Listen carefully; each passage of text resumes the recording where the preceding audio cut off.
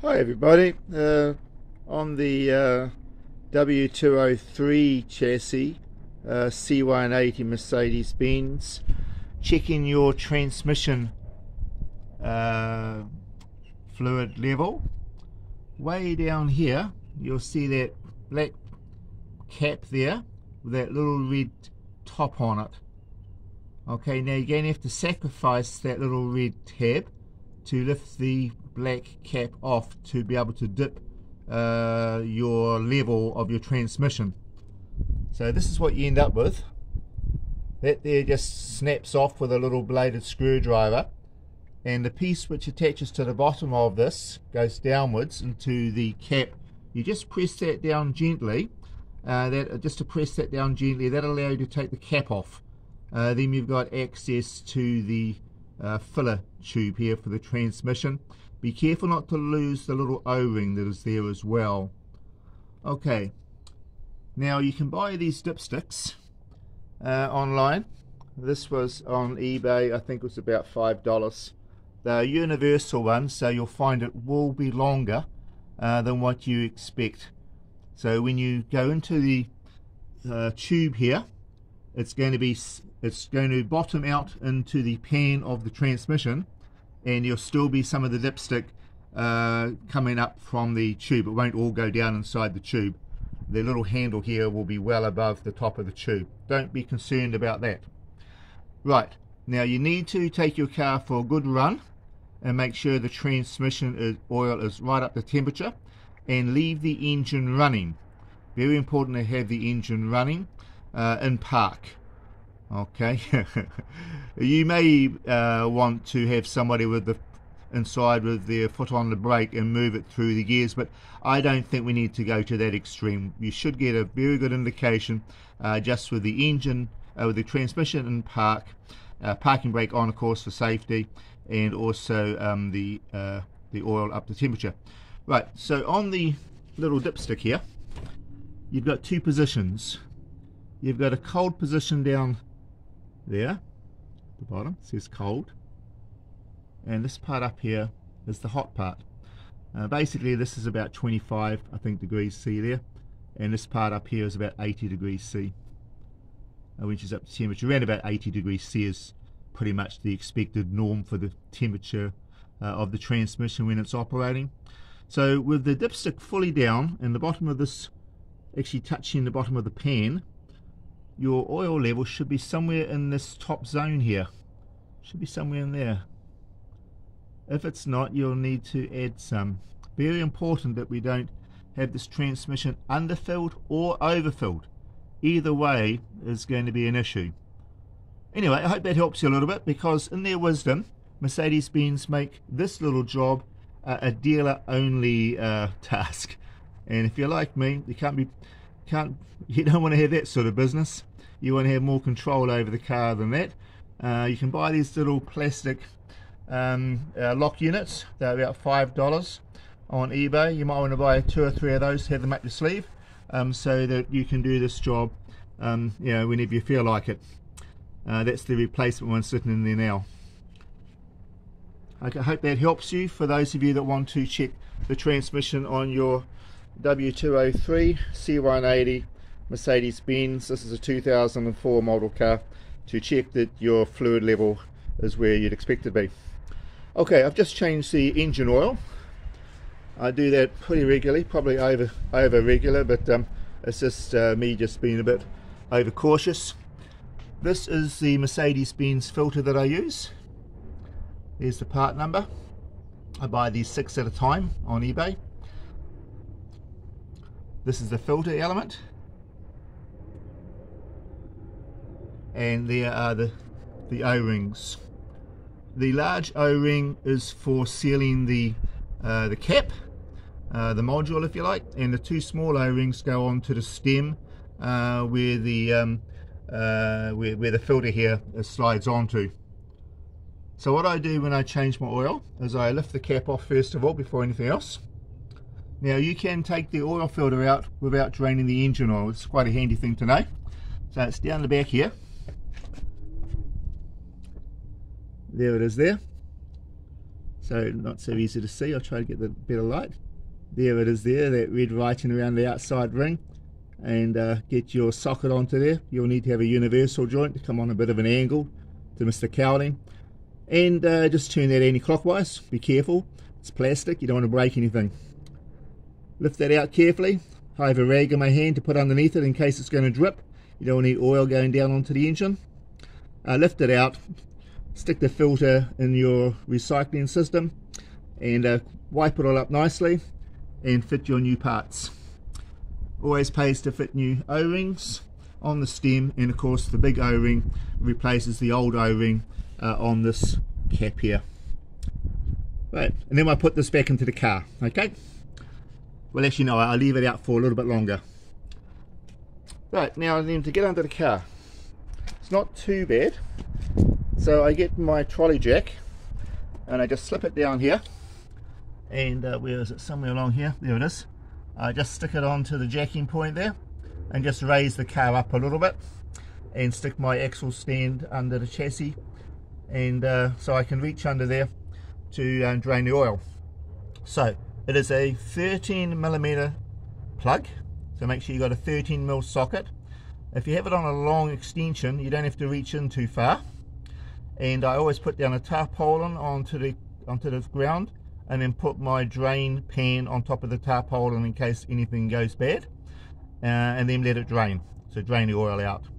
Grab the um, uh, the the, uh, some, the, the plug is quite long. Uh, it's got a long thread so you wind it out quite a way have it in your hand and just gently take the last couple of threads out and and grab it in your hand. Don't let it fall into the into the pan and that way you can um, save fishing it out later uh, then I give it a good wipe up uh, ready for reinstalling later uh, let the oil drain give plenty of time to let the oil drain uh, make sure that it's um, just a, maybe the odd little drip coming out at the end and then you know that it's the sump is fully drained and uh, you can put your clean drain plug uh, back into the sump. Be careful not to cross thread it and don't over tighten it. I don't use a torque wrench but I just nip it up um, just so it feels a little bit tight and that's enough. Um, and put a new uh, washer on it too. I put a new copper crush washer on that as well. Okay, so that's that's part done. So then we can refill. At that stage also I put my filter in place and nip that down nicely. So I put in 5.5 litres of this oil here. Okay, it's around about what's recommended. You'll see from like 0 to 30, but this is the only one I can get at my um, auto store. And that costs about 95 New Zealand dollars for 6 litres. And I'm using 5.5 litres of that. I measure it off in my measuring container, which is uh, it's got all of the graduations on the side so I can measure it very very carefully and I use my funnel and I top up the engine with exactly 5.5 uh, litres doesn't seem to make any difference with the filter uh, being dry. I go for 5.5 later on when I check the level it's it's just right where it needs to be. If you're really pedantic you might want to put in maybe another 50 mils for the element but I don't think you really need to worry about that. Uh, once I've done that I then put the cap back on and I give the engine a, a, quick turn over but I don't let it catch. Just a couple of quick turns so that it's turning over. Uh, and then I let it catch uh, so that I don't um, you know have it running dry. Uh, I, wouldn't, I would never be a person that like changes oil turns on engine and then starts revving it up uh, before the oil has got a chance to circulate around uh, through all the journals. Just be careful. If it's your car you want to take care of it. The more you care for the car the less issues you'll have in the future of uh, maintenance and wear and tear breakdowns etc so I hope that's going to help you a little bit it's an easy task to do uh, changing the oil so some of you are going to ask well Jon do I do it after the engine has been hot or do I do it when it's been standing well I've done it either way to be honest guys the way I did it just this last one when I changed the oil just this morning this is what I did. It had been sitting for about uh, oh, well over a week, maybe 10 days just been sitting here. Uh, but before it was sitting here, of course, I was driving it. So the engine was hot, uh, and then the engine, um, you know, would have uh, cooled down gently. and all of the oil would have run back down into the sump. And so when I uh, drained the oil this time, I drained it cold. All right, and I feel that I've got all of the oil out without having to sort of heat it up and, and let it run down and out. Uh, I have done it either way, and I don't really think there's a major disadvantage in either way, to be honest. Um, uh, so I did it cold this time and uh, bottled the oil up and send that back for recycling. So you might have a comment on that, whether it's good or bad practice to do it hot or cold. But um, well, if it's cold, it was hot at one stage. That's the way I look at it, and um, it's had a chance to, over that time, fully drip down into the sump. There should be very, very little oil remaining around the uh, top of the engine uh, that gets missed out.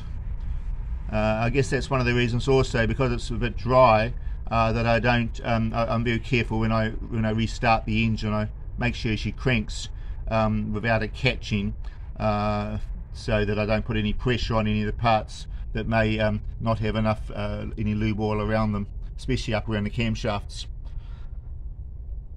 Okay, well that's uh, about all I wanted to say for now. Um, but I would say with that, please um, don't feel that this is a, a, task which is beyond the average handy person. Um, it does help if you have got a jack to lift the car up a little bit. It's quite low under there to get to the drain plug. Uh, you of course have to take off your um, uh, bottom uh, covers that, that uh, cover over the transmission area. I have left my one off uh, because I do my um, I do my oil change quite regularly and uh, I just leave that off so I can get to it easily. That's just I, don't go and, and drive over uh, rough roads with lots of stones and gravel so I don't feel that I'm really placing the sump into any risk there so that's the way I do it and I change my oil um, sometimes by the date and sometimes by the mileage but certainly within six months I change the oil I don't do very many miles within six months I've probably done about maybe two or three thousand kilometers at the most so I'm over the top cautious changing oil and filters. Uh, and I hope that that uh, pays back dividends in the future, uh, that I can get a good mileage out of this car that I'm very happy with and in no hurry to, um, to upgrade it. It's just um, about to hit 200,000 kilometers, which uh, for the condition of this car, the way it's been looked after, so you might remember I'm the second owner, I bought it off a lady that bought it brand new it's been well serviced by her at the Mercedes dealership, and it's just in my ownership that I have uh, taken care of the maintenance myself. So I think that uh, if I carry on uh, pampering the oil changes, and I certainly don't give this vehicle a hard time anyway, I take it quite quietly. I feel if uh, you don't really need to thrash a vehicle like this, it purrs along quite nicely at highway speeds uh, anyway there you go. I hope you're having a, a, good time where you are, and I hope your projects are going to plan. Uh, what could possibly go wrong with oil change? Well, you got a lot of oil around the place once you've drained it, so be very careful not to bump your your um, your drain pan and drop your tools into it and all that sort of good stuff, or splash it around. So, a tarpaulin on the ground is not a bad idea. Um, we've all had little accidents with uh, oil spills, that's for sure, and it's a pain to mop it up and you know, try to get the clean up the mess afterwards. A little bit of a gap in my garage today. My CRF 230F is no longer here. I've sold it. New owners uh, picked it up and it's gone.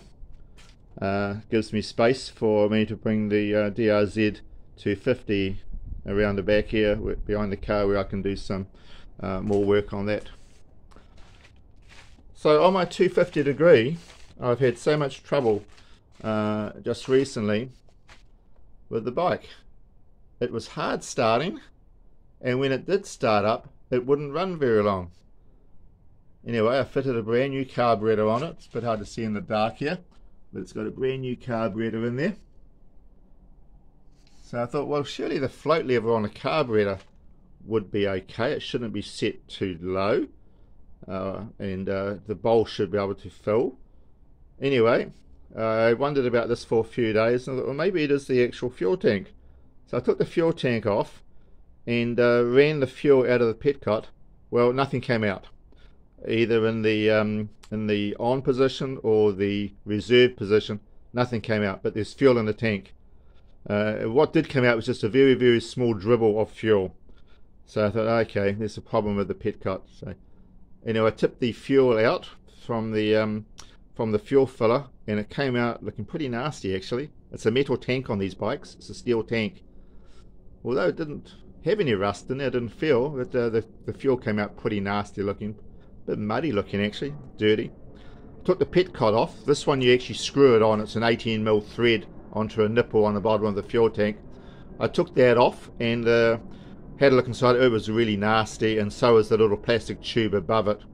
So I have bought a brand new petcock for this and it should be here shortly and I can refit it. So I, I did actually uh, manage to bypass it all and had the engine running beautifully. Um, it ran continuously. I've been riding around on the street here. It didn't um, uh, run out of fuel, so I know the carburetor was fine uh, and that uh, it was just a matter of fuel starvation from the tank. So if you have a problem like that, I think mine was due to the fact that I hadn't emptied the tank out. Uh, from now on, I'm going to be draining it uh, completely dry and the bowl of the carb when I'm not using this bike because it sits here for months without being used. In fact, it must be just about a year since I last turned it on. Anyway, that was a little update on the 250 degree. I'm uh, really, really happy with that uh, repair and I'll, um, I'll, make a little video of it when I get the tank back on again with my new petcock. Uh, I've been riding around on it. Tyres had no use at all. Anyway, thank you very much for viewing. And uh, if you've got a Mercedes-Benz and you can't see where to check the oil level of your transmission, this is a way around it. It's a massive, it's a massive dipstick. It hangs out by quite a few inches from the top of the filler tube. But apparently these are universal dipsticks and some of the transmissions that Mercedes-Benz have uh, do need the full length. Thank you for viewing. Really do appreciate my new subscribers to my small channel. Uh, just over a thousand subscribers now, so I'm very, very happy about that. Um, do uh, thank you very much for supporting me, and I hope that some of the content that I bring to you is of some interest to you. Catch you a little later in another one.